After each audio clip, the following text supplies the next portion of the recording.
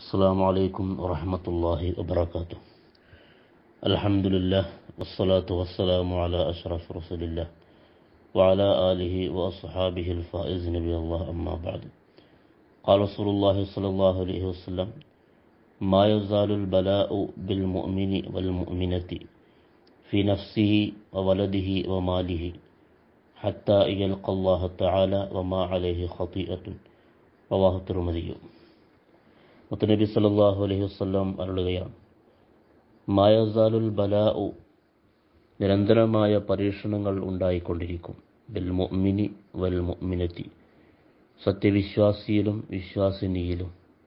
ഫി നഫ്സിഹി വ വലദിഹി വ മാലിഹി സമ്പത്തിലും ശരീരത്തിലും സന്താനങ്ങളിലും ആ പരീക്ഷണങ്ങൾ ഉണ്ടായേക്കാം. ഹത്തായൽ അള്ളാഹത്താല അള്ളാഹുവിനെ കണ്ടുമുട്ടുന്നതുവരെ വമാ അലേഹി ഖത്തീഅത്തുൻ ആ സമയത്ത് അവന്റെ മേൽ ഒരു പാപവും ഉണ്ടായിരിക്കുന്നതല്ല.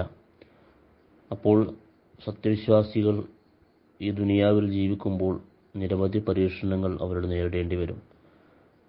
ആ പരീക്ഷണങ്ങളെല്ലാം അതിജയിച്ച് അതിലെല്ലാം സൃഷ്ടാവിന്റെ അള്ളാഹുവിന്റെ പ്രീതിക്ക് വേണ്ടി എല്ലാം ക്ഷമിച്ച് സഹിച്ചു കഴിയുമ്പോൾ അവന്റെ ശരീരത്തിലെ മുഴുവൻ പാപങ്ങളും പൊറുക്കപ്പെടും എന്ന് മുത്തനബി സല്ലല്ലാഹു അലൈഹി വസല്ലം പറയുകയാണ് അങ്ങനെ അള്ളാഹുവിനെ കണ്ടുമുട്ടുമ്പോൾ എല്ലാ പാപങ്ങളിൽ നിന്നും പരിശുദ്ധനായി കൊണ്ടായിരിക്കും അള്ളാഹുവിന്റെ സന്നിധിയിൽ വളർത്തുക എന്ന് മുത്തനബി സല്ലല്ലാഹു അലൈഹി വസല്ലം പ്രത്യേകം ഉണർത്തുന്നു. തക്കബലല്ലാഹ്